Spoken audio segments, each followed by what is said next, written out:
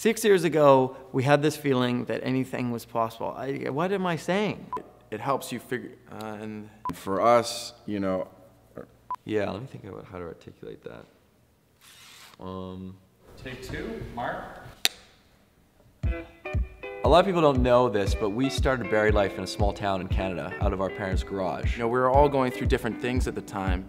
You know, I, I just lost a friend who was really close to me. And we were all kind of cued for like this one minute to go after everything that we wanted to in life. Like something happened where we were this thought that anything was possible. At the same moment, we all felt that we could do anything, and that's when we wrote our list, and that's when this whole project started. everybody at a point in their lives has a moment where they think, I know what I want to do.